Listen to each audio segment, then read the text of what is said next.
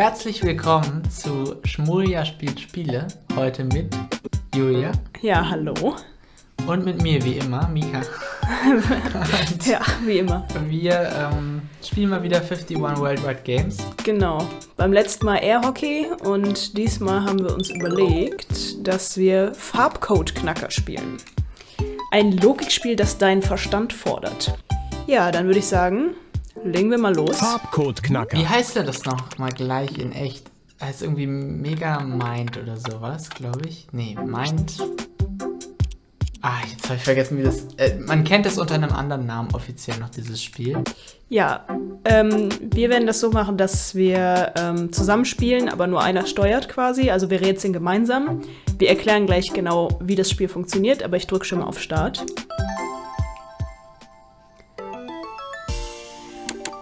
Genau, ähm, man sieht jetzt hier, der Computer hat eine Tastenkombination aus, äh, eine Farbkombination ausgewählt, bestehend aus diesen sechs Farben, die wir unten sehen. Aber er hat nur vier ausgewählt. Was unsere Aufgabe ist, ist es jetzt innerhalb von acht Zügen herauszufinden, welche dieser vier Farben er verwendet hat und vor allem an welcher Position sie liegen. Und wir haben, glaube ich, nicht ausgewählt das Doppelte verfügbar. Nee, genau. Wir haben die leichte Variante genommen. Das heißt, es kann jetzt nicht vorkommen, dass zum Beispiel hier bei den ersten beiden blau ist und dann rot und pink. Also- Mastermind. Mastermind heißt das Spiel im Ah ja, Original. okay. Ich kannte das tatsächlich vorher gar nicht. Unter dem Namen kennen es vielleicht einige. Ähm, da gibt es auch teilweise dann acht Farben oder zehn oder sowas. Hier sind es jetzt nur vier, äh, und, aber dafür auch nur acht Runden. Das heißt, es ist alles ein bisschen komprimierter, nicht unbedingt leichter.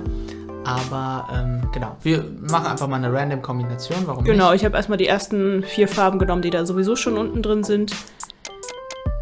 Okay, Keine Volltreffer, drei fast Treffer. alle richtig. Wenn alle richtig wären, hätten wir einen riesen Vorsprung. Aber so Genau. müssen wir uns Das heißt- ein bisschen rumprobieren.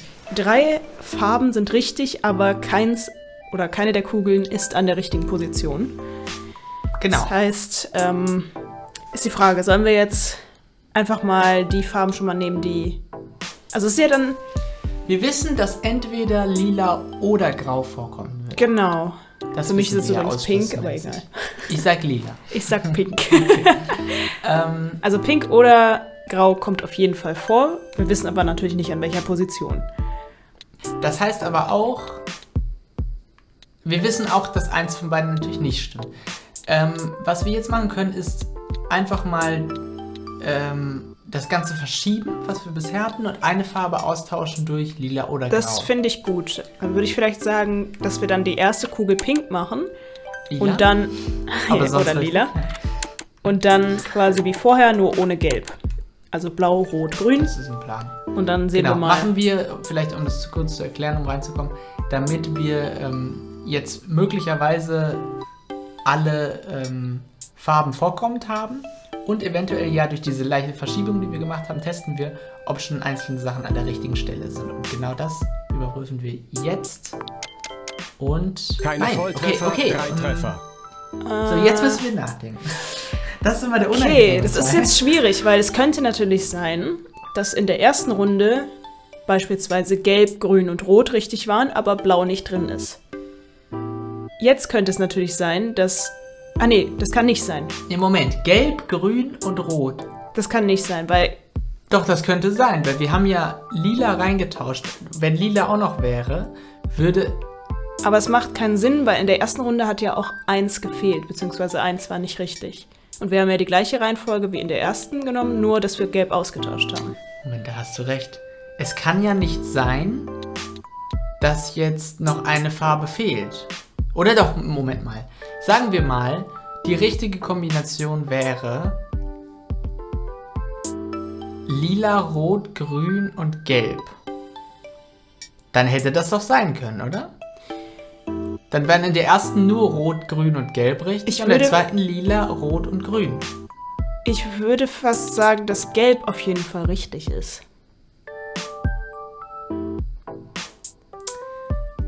Weil, Schwer zu sagen. Kann sein. obwohl, oh, jetzt bin ich, jetzt habe ich gerade aber auch irgendwie einen Knoten im Gehirn. Kannst du mal äh, in willkürlicher Reihenfolge reinmachen? Lila, blau. Oder warte, ich mache das mal nicht an der gleichen Position. Ach fuck, ne Moment. Ich glaube, ich habe gerade Quatsch gelabert. Ne, lila, Rot, Grün und Gelb. Ja. und jetzt dann noch nicht abschicken? Obwohl, nee, ich möchte mal nicht die gleiche Reihenfolge haben. Ich möchte ja hier die Reihenfolgen auch austesten. Ups. Ich mach mal rot, grün. Ja, das ist ja egal. Hauptsache, Lila und wir haben Gelb. eine neue. Nee, nee, nee, es ist ja schon. Aber die Gelb kann unten nicht sein. Ach so, gelb kann nicht sein, genau. Dann. Nein, das wollte ich auch nicht. So. Und so. Dann haben wir auch nochmal eine andere Reihenfolge als in den ersten beiden. Dann können wir mal schauen, vielleicht ist ja eins direkt schon an der. Kann, aber lass uns kurz überlegen, kann das überhaupt sein? Ich meine, wir haben noch viele Versuche, aber lass es trotzdem so möglichst gut machen. Also, angenommen, das wäre jetzt komplett richtig. Dann wäre im ersten Zug richtig gewesen, also wären drei, es sind ja drei richtig angezeigt oder vorkommend angezeigt. Das sind Rot, Grün, Gelb. Okay, macht Sinn, drei von vier. In der zweiten Runde sind es Rot, Lila und Grün. Das passt auch. Also es kann durchaus sein, dass das schon die richtige Lösung ist. Mal gucken. Okay, wir Wahrscheinlich werden's nicht, sehen. aber mal gucken. Oh. Wir Zwei zwei an der richtigen Stelle ein einen Treffer. Treffer. Und jetzt ist es aber interessant, weil wir haben immer noch nicht alle vier Farben. Dann würde ich. Nee, Moment.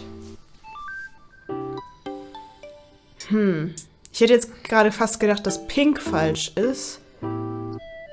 Aber das kann ja nicht sein, weil im ersten Durchgang war Pink nicht drin und es war trotzdem eins falsch. Oder Blau ist drin statt zum Beispiel Grün oder Rot. Ja, das könnte gut sein. Das kann sein. Ähm. Ja. Grün und Rot hatten wir jetzt in jedem Durchgang natürlich. Genau, Grün und Rot, eins von beiden würde ich rausrotieren. Aber jetzt stellt sich mir noch kurz die Frage, wir haben ja Grau noch gar nicht raus, äh, ausprobiert. Vielleicht ist das die fehlende Farbe. Kann das sein? Das müssen wir kurz durchdenken. Sagen wir mal, mach mal eine willkürliche Situation rein, damit wir das ähm, uns ausdenken können. Mach mal. Ist natürlich, Ja, gut, wir müssen auch gucken, weil wir jetzt zwei an der richtigen Position haben. Das müssen wir natürlich auch noch rausfinden. Ja, gut. Das ist aber erstmal Nebensache. Ich würde mich erstmal darauf konzentrieren, welche jetzt, ähm, was jetzt die letzte Farbe ist, weil danach geht es tendenziell schnell. Ähm, So vielleicht mal, also dass wir gelb wir, rauslassen. haben, wir haben seit dem ersten Zug schon rausgefunden, dass nicht lila und grau richtig sein können. Es kann nur eins von beiden richtig Nee, sein. grau hatten wir noch gar nicht ausprobiert. Aber lila, aber wir wussten ja, dass entweder lila oder grau richtig ist, weil wir schon drei vorkommend hatten. Ja. Das heißt, es kann ja nicht lila und grau sein, weil dann hätten wir ja zwei wechseln müssen. Aber es waren ja schon drei richtig. Verstehst du? ich bin gerade ein bisschen Brain AFK. Das passiert immer mal wieder in diesem Spiel. Nee, aber wir hatten ja, es gibt ja sechs Kugeln Farben zur Auswahl. In der ersten Runde hatten wir ja schon vier davon und drei waren schon richtig. Das heißt, uns fehlt nur noch eine von den zwei, die wir nicht genommen haben. Also lila oder grau. Ja. Aber nicht beide. Das wissen Ach wir. so, ja, genau. Das heißt, wir müssen, wenn Aber wir grau nehmen, lila rausnehmen. Ach so, mhm. ja gut, das stimmt. So, jetzt durchdenken wir das mal. Angenommen, in der ersten Runde hatten wir drei richtig, das wären dann blau, rot und grün. Ja. Okay, das ginge noch. In der zweiten Runde hatten wir drei richtig, das waren blau, rot und grün. Wer hätte es gedacht? Dementsprechend müsste grau auch vorkommen, Ja, weil deswegen, lila natürlich falsch ist. In der dritten deswegen Runde, wollte ich grau aus, äh, ausprobieren. aber in der dritten Runde, und jetzt machen wir einen Fehler, hatten wir rot, grün und ja noch eine Farbe richtig. Mhm. Also eine von, also gesetzt den Fall, dass Rot und Grün richtig sind, ist auch äh, Gelb oder Lila richtig. Eins von beiden. Aha. Ich überlege gerade, was das heißt, welche wir austauschen können. Aber sollen wir nicht einfach mal das ausprobieren, was ich jetzt schon ausgewählt habe? ich weiß nicht, ob wir das machen sollten, weil damit verschwenden wir mehr oder weniger Zug, weil wir wissen, dass es nicht richtig sein wird. Und ich weiß nicht, ob der Erkenntnisgewinn so groß ist. Weil wir wissen, dass es nicht die vier Farben sein werden. Mm, Aber wir können zum Beispiel testen, ob grün und rot an der richtigen Stelle sind. Das stimmt, aber lass uns doch trotzdem probieren, ob wir noch eine Möglichkeit finden, wie das mit den vier Möglichkeiten auch Sinn macht. Ich würde immer probieren. Äh, das wollte ich nicht. Moment, vielleicht ist das aber gar nicht falsch. Ach so. Ja, ich könnte mal. Nee, es ist falsch, es ist falsch, weil in der zweiten hatten wir genau die Ach so, gleichen mhm, Farben. genau. Aber wir hatten noch nicht Gelb mit Blau zusammen. Moment, äh, gehen wir das doch mal durch. Nee, das hatten wir in der allerersten. Hatten wir es genauso. Oh ja, stimmt. Das heißt aber, das, was wir jetzt haben, genau, plus. So, und jetzt gehen wir es durch. Jetzt gehen wir es mal durch. Das kann nicht sein wegen der Position von Grün allerdings. Grün müsste dann da sein, wo. Blaues. Naja, angenommen, es ist eine von den. Mit der richtigen Position müsste es ja. Ach so, grün und pink tauschen meinst du? Das würde ich machen einfach. Ah, ich wähle immer die falschen aus. ja, das ist immer ein bisschen kompliziert mit der Steuerung. So. So unintuitiv. Okay, Und dann jetzt hier pink, ja? Hier pink, würde ich sagen. Wir, wir gucken kurz. Das war aber im zweiten Durchgang unsere Farbkombination, sehe ich gerade. Ha, vielleicht kann es doch grau sein. Ja, ich glaube aber, es mu- muss dann grau und gelb sein. Probier doch mal da, wo das jetzt ist gelb Ach so, mhm. und darüber grau. Aber dann haben wir grün raus, ne? Es waren ja im dritten Durchgang auf jeden Fall zwei an der richtigen Position. Stimmt, Gut, es könnte natürlich es sein. Es könnte aber auch rot und gelb an der richtigen Position sein. ähm, dann mach doch noch mal blau. Oder hat die Reihenfolge von den Punkten, die da sind, äh, heißt das, dass die ersten beiden an der richtigen Position sind? Weil die ersten beiden roten Punkte. Nein, das ist Das ist egal, nicht ja? Klar. Das Okay. ist nicht klar. Diese Information kriegen wir nicht. Okay.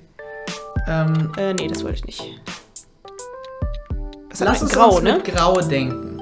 Bevor wir jetzt äh, losdrücken, kann das sein, was wir hier haben? Erste Runde hat, also wir gehen immer davon aus, dass der Versuch, den wir jetzt gerade haben, richtig ist. Funktioniert das dann mit dem vorherigen Versuchen? Erstmal hatten wir ja Rot, richt, also drei an der richtigen, äh, drei, drei vorkommende. So, das sind in dem Fall Rot, Gelb und Blau. Das funktioniert. Die sind nicht an der richtigen Stelle. Okay, das geht. Zweiter Durchgang. Da hatten wir auch drei vorkommende. Das sind Blau, Rot und. Da geht's nicht auf. Dann müssen wir vielleicht Grün wieder reinnehmen, statt Gelb. Wir könnten aber auch einfach mal testen, weil. das ist, wird nicht richtig sein. Okay, aber wir haben natürlich noch viele Versuche frei. Aber wir wollen natürlich so schnell wie möglich fertig. Aber es kann ja nicht sein, dass es rot, grün, gelb und blau ist, weil das hatten wir im ersten Durchgang. Mach doch mal Gelb weg und jetzt Grün hin. Ungeachtet der Position, die natürlich nicht sein kann. Würde das denn gehen? Dann haben wir in der ersten Runde Blau, Rot, Grün richtig. Okay. In der zweiten Runde haben wir Rot, Blau, Grün richtig. Weiterhin. In der dritten Runde haben wir Grün. Da geht es auch wieder nicht auf. Ich tendiere wirklich dazu, einfach mal auszutesten. Ich habe ich hab ganz stark das Gefühl, dass es gelb und grau sein könnte. Aber wir können es austesten. Ist nur die Frage, was, was für einen Erkenntnisgewinn haben wir dann? Ähm, Dann tausche aber grün und grau von der Position. Okay. Sonst macht es keinen Sinn. Äh, ja. Wir testen es jetzt einfach mal aus. Vielleicht ist es ein bisschen anschaulicher. Wir jetzt schon sehr lange hier rumrätseln. Ja. Das wird es aber nicht sein. Okay, Zwei Volltreffer, keine das Treffer. ist wiederum... Das heißt, rot und grün sind an der richtigen Position. da haben, wir, da haben wir jetzt ein bisschen Glück gehabt auch. Aber das ist absolut hilfreich natürlich. Dass die Genau, das heißt, wir müssen nur noch zwei rausfinden. Ich hatte ja vorgeschlagen. Gelb hatte ich vorgeschlagen, aber wir wissen Oh, bereits, Moment. dass es nicht gelb ist. Weil im ersten Durchgang war es nicht an der richtigen Position, in, im dritten auch nicht. Das heißt, es kommt gar nicht vor. Gelb, aber ist grau und blau kommen gar nicht vor. Es kann also nur gelb und pink Mir sein. fällt gerade auf, ich weiß gar nicht, ob wir wissen, dass grün und rot richtig sind.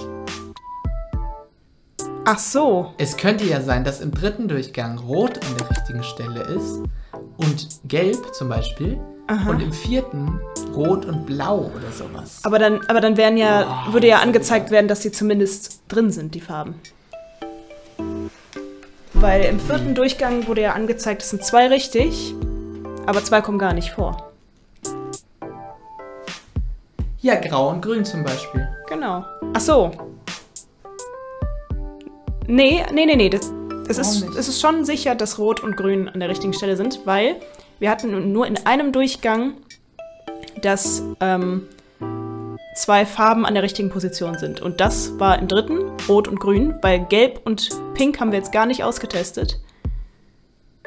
Aber es kann doch im dritten Durchgang sein, rot und gelb. Ist richtig? Wieso Ein drückst du? Volltreffer. Ich wollte mal was ausprobieren. Jetzt haben wir wirklich nicht mehr so viele Versuche. Wir haben immer noch nicht alle vier Farben und wir müssen nur die Position finden. Aber guck mal, guck mal, guck mal. Das bestätigt meine These. Ja, okay. Grün und Rot. Nur einer von beiden ist wahrscheinlich richtig. Ja. Das heißt. Gut, gelb unten konnte ja nicht sein, ne? Wegen dem ersten Durchgang. Aber.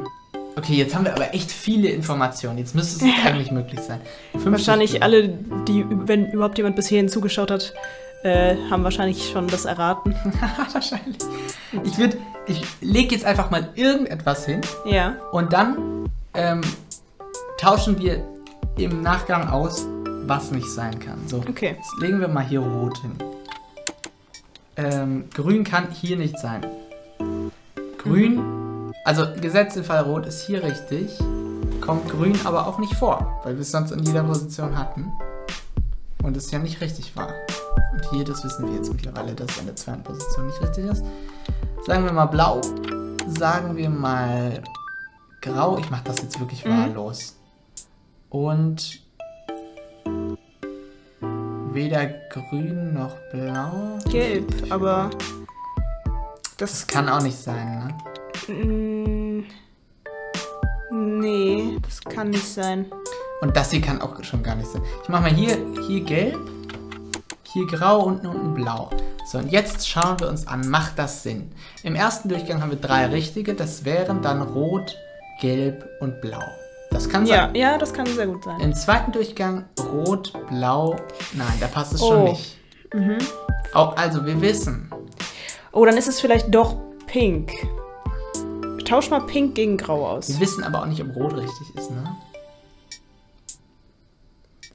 Kann es auch einfach grün an der richtigen Position die ganze Zeit sein? Das kann absolut sein. Oh, das, oh, das ist knifflig. Das ist echt eine schwierige Runde dieses Mal.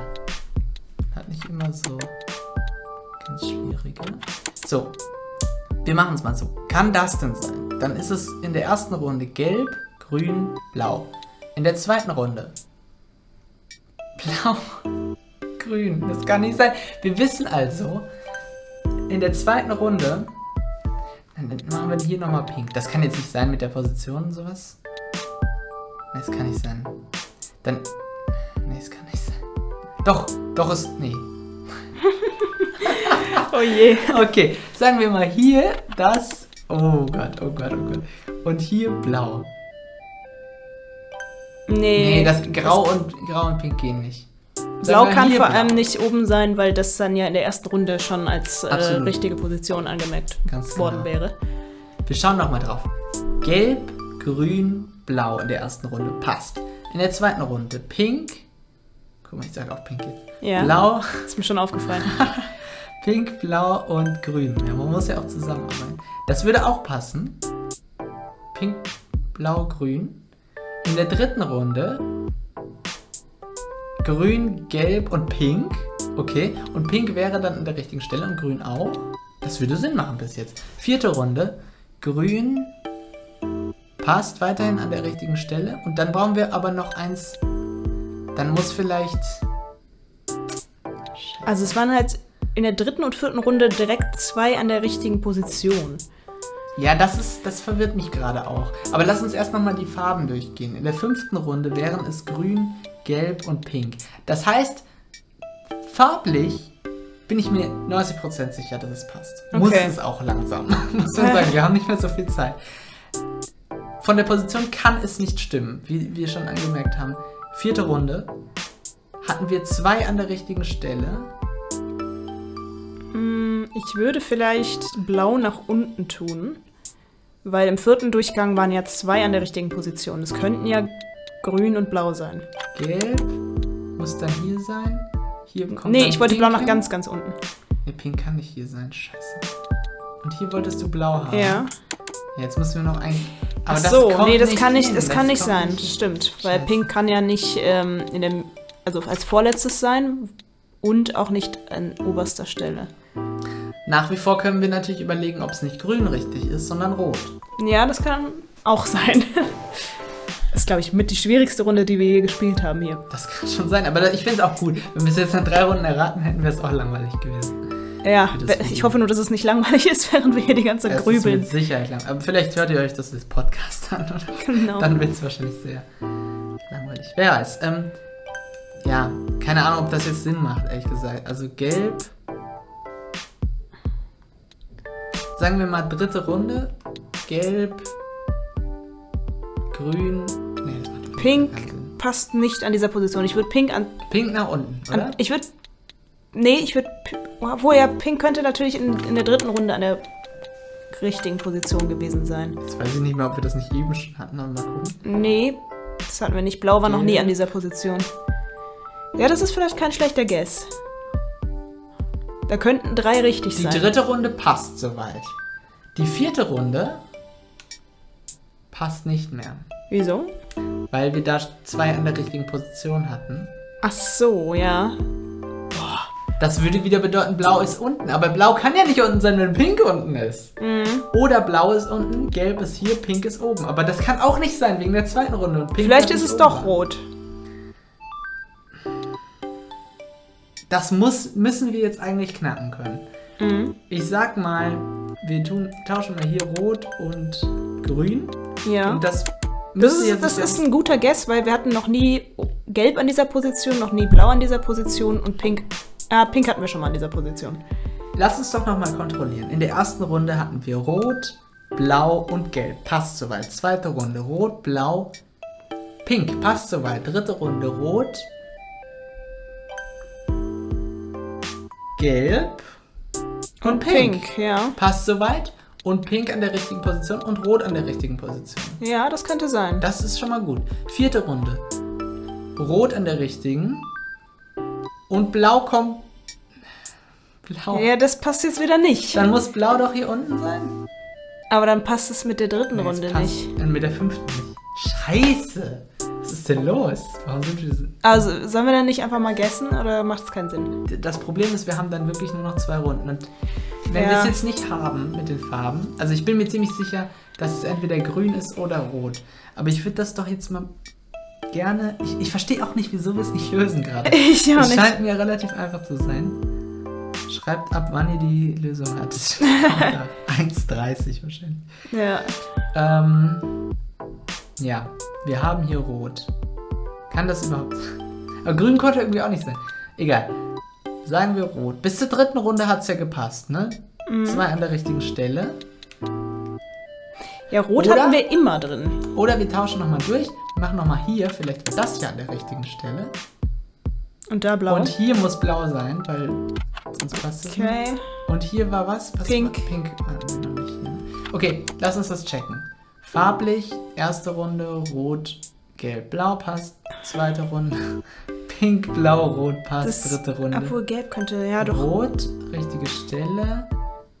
Und gelb an der richtigen Stelle. Und pink kommt vor. Okay, vierte Runde. Rot an der richtigen Stelle. Ja.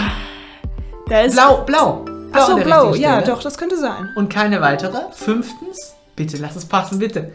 Rot an der richtigen Stelle. Ja. Doch, probier's, Pink. probier's. Das, ich bin mir sehr sicher gerade, dass wir entweder eine Lösung haben oder nun. Aber was soll jetzt noch abweichen? Ja, wir probieren ich, ich es. probier's. Wir probieren es. Ja. Und wir haben es geknackt. Sehr Boah, schön. Das war aber schwierig. Farbcode geknackt. Farbcode geknackt. Wir sind die Masterminds. Hat Ja. ein bisschen gedauert. Sorry. Drei Aber- Stunden später. Ich würde sagen, das war ein gutes, äh, guter Erfolg. Ja. Wir haben es doch geknackt. Mit Hirnschmalz. Ich finde das ein ganz schlimmes Wort. Und äh, haben den Farbcode besiegt. Ja, da muss man sich mal vorstellen, wie schwierig das ist, wenn da Farben doppelt vorkommen können. Ja, das erhöht die Wahrscheinlichkeit irgendwie mal 10 oder sowas. Ne? Das ist ja unfassbar. Also, will man sich gar nicht Vorstellen. vorstellen. Ja. Okay, ja, vielen Dank fürs Zuschauen. Ähm, bis zum nächsten Video, würde ich sagen. Bis dann. Tschüss. Ciao.